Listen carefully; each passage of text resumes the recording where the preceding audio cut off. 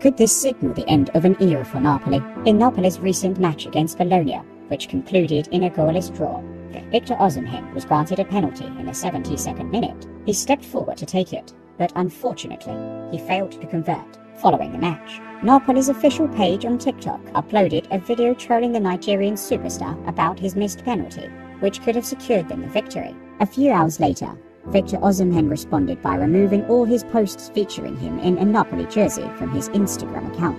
This is why I pose the question